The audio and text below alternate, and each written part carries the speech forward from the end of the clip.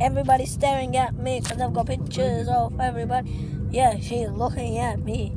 Yeah, she's looking at me, not her. Because her teacher wants something. Because she is cyber.